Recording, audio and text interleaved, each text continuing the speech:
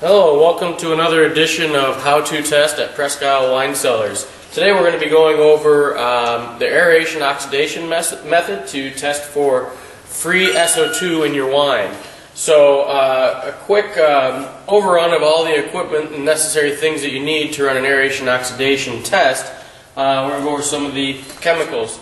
So, some of the basic things you need is a hydrogen peroxide. Just run down to your local drugstore, get a 3% solution of hydrogen peroxide, 99 cents. Um, a 25% solution of phosphoric acid, supplied here at Presque Isle. A one-tenth normality sodium hydroxide solution, which we'll dilute down here during the test. And a methyl red, methyl blue indicator solution for seeing the color change. So, these are the chemicals we need. Um, the aeration uh, apparatus, which is built in-house here at Presque Isle, um, has the heart-shaped flask, your receival flask, and your stopcock to breathe through and vent. Uh, there's a couple different methods to do this test. We can either push through with a small aquarium pump and break apart disso disassociate the free SO2, or we can set this up with a Venturi apparatus to hook up to your sink to flow through and pull vacuum through the system. So our system here we have that we're showing demonstrating today is with a vacuum pump pushing through the system. So in order to run this test we have to do a couple simple things, simple dilutions and simple um, concentration additions. The method of this uh, test is that we're going to take 20 milliliters of wine, which I've already pre-measured out. There's 20 milliliters of a white wine that we are going to put into the heart-shaped flask, which is inside an ice bath in order to help keep the SO2 bound in there while we're running the test before it releases. We next are going to take some phosphoric acid, 25% solution, and we are going to put 10 milliliters into there.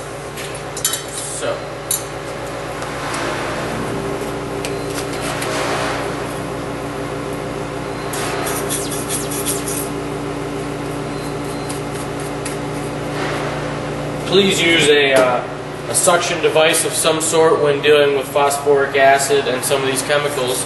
Never put your lips on there and suck up the, uh, the acid and some of the other things. So, we're just going to draw up 10 milliliters of phosphoric acid.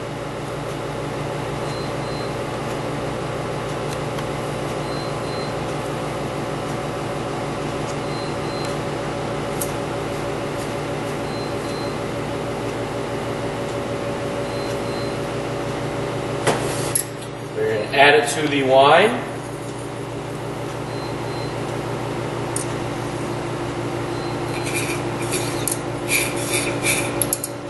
The acid is going to help to break apart the bonds and let the SO2 travel over into the collection vessel.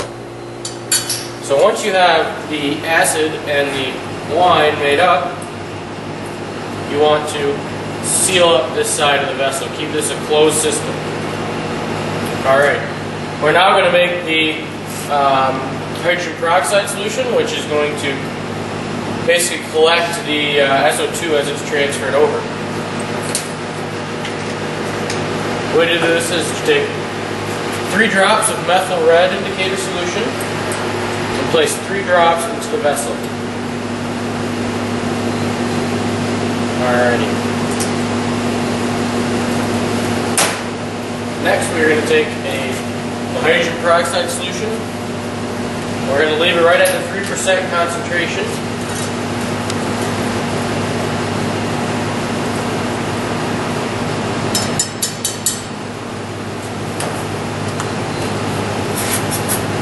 And this is where the, the most important part of this test is, is watching for the color change on this side. And when we add our hydrogen peroxide to the methyl red indicator solution, this should turn a brilliant purple color, royal purple. If it doesn't turn purple, then your concentration of hydrogen peroxide is probably a little weak and you should get a fresh, uh, a fresh container. So we now have our hydrogen peroxide in there. Next, we need to now change this over to, to a teal color. And we do that by putting in a few droplets of, of sodium hydroxide to color change it back to an olive color. So I got just a little mixing rod. You can use a, um, a straw or pipette or any little thing that can reach in there. You're just going to put in a few drops to stir it in so you get this to a nice little olive color. Olive to teal. You go to a bright teal, you've Alright. You've gone just a little bit too far. So the key is to keep it this nice olive color. Are you able to see that? Beautiful. So, we now have our solution all built. And we are now going to plug in our aquarium pump. It is nice to have a stopwatch handy when you're running this test and run the test for, I run the test for 15 minutes. Um, and you have a flow rate of 1.5 liters per minute. So, um, and run this test for 15 minutes. If you have SO2 in your wine, this is the color is going to change over to a purple. The more purple it is, the more you have, and we are going to titrate at the end with a diluted solution of sodium hydroxide. With our one-tenth normality, we are going to dilute it down to 0.01. So we take 10 milliliters of the sodium hydroxide with 90 milliliters of water, mix it around, and pour it into a graduated cylinder. I've already prepared the solution here, so all we're going to do is at the end, we are going to titrate out. I am going to top this up to zero so that my math is very easy while I'm titrating. So I'm going to bring it up to zero.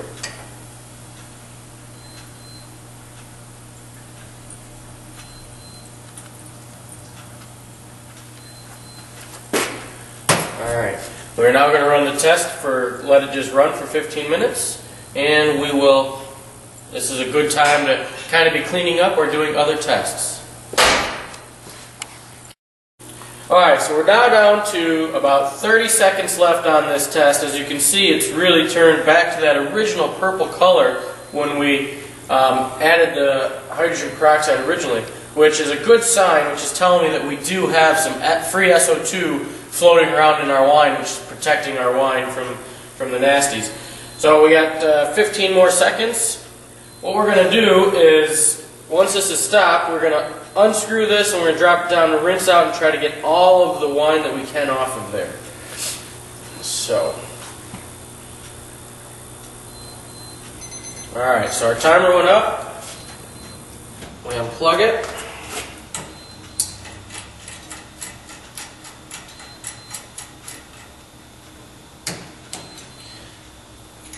And it's nice and handy to have a little squirt bottle. I'm just going to kind of rinse off anything on there, and that's going to give you your total. So now we have our nice solution. We need to now titrate the diluted sodium hydroxide until we get this back to the original olive color. So, nice easy drip by drip. And swirl it around.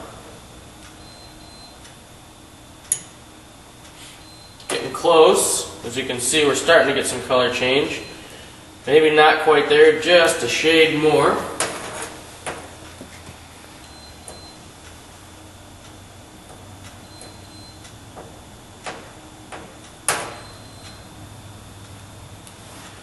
Alright, so back to the original olive color that we originally titrated with. So now, using uh, some simple mathematical calculations based off of the solution that we diluted it to, we titrated out 0.8 milliliters of um, sodium hydroxide to get our color change.